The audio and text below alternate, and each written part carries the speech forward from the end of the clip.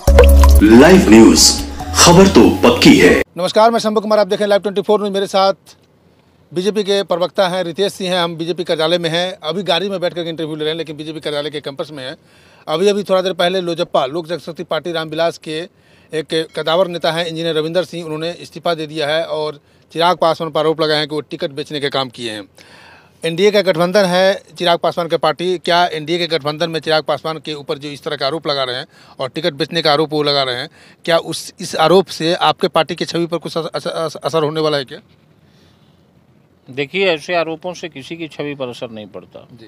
क्योंकि ऐसे आरोप लगाने वाले व्यक्ति मनगढ़ंत कहानियाँ कहते हैं।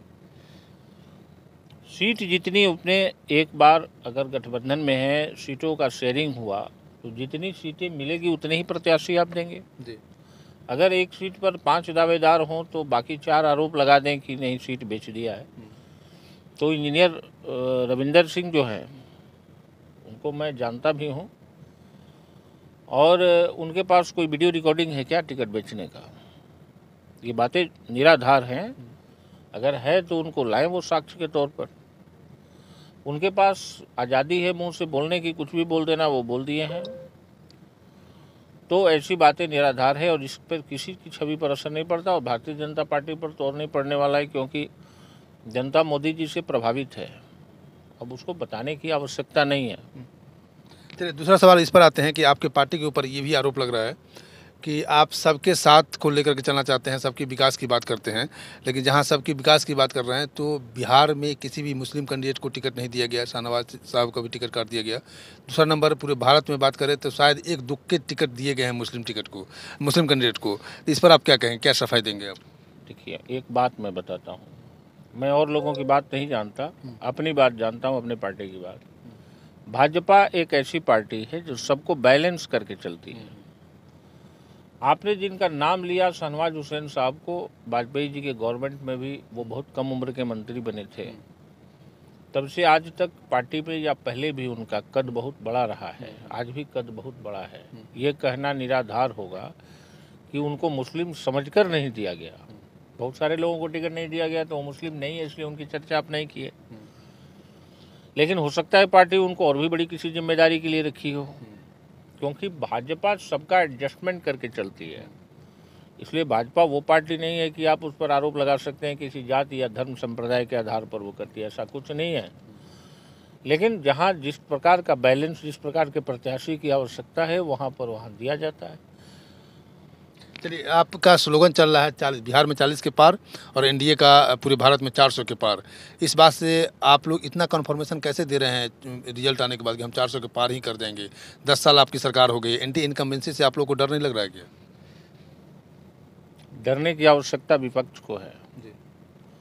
क्योंकि वो लोग जितने दिन रूल ओवर किए उसमें जनता को शोषण और भय के अलावा कुछ नहीं दिए। हम लोग कॉलेज जीवन में पढ़ते थे जब केंद्र की में कांग्रेस की सरकार होती थी तो हम लोगों को पुस्तकों में पढ़ाया जाता था कि एटम बम गिरा देगा पाकिस्तान। और आज हमारे देश का एक बच्चा भी पाकिस्तान से डरने को तैयार नहीं है। ये है हमारी मोदी सरकार की पहचान। चलिए, लास्ट सवाल ये है कि इस बार सुशील मोदी जी ट्वीट किए हैं कि हम अस्वस्थ होने के कारण बिहार की कैंपेन नहीं कर पाएँगे। क्या उनकी कमी खलेगी? या उनके कैंपेन नहीं होने से कहीं, ऐसा तो नहीं कि प्रभावित हुए आप लोग के निसंकोच हम महादेव से प्रार्थना करेंगे, सुशील मोदी जी जल्द स्वस्थ हों। क्योंकि अभी बिहार भाजपा में सबसे वरिष्ठ नेता और सबसे जानकार नेता के रूप में उनको जाना जाता है। उनका मार्गदर्शन काफ़ी है। उनका रहना तो और बहुत बड़ी बात है।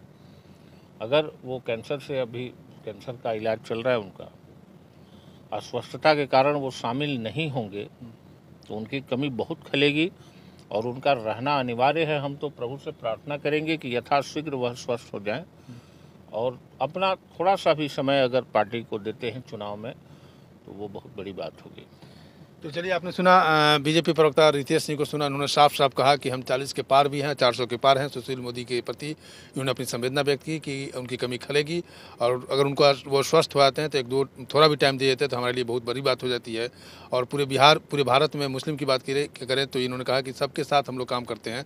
हो सकता है पार्टी उनके लिए अच्छे जगह बना कर रखे होंगे। शाहनवाज हुसैन की बात करें तो उनके लिए कुछ अच्छी जगह बना कर रखे होंगे। इससे पहले भी उनको कई सारे अच्छे अच्छे मौके दिया गया है।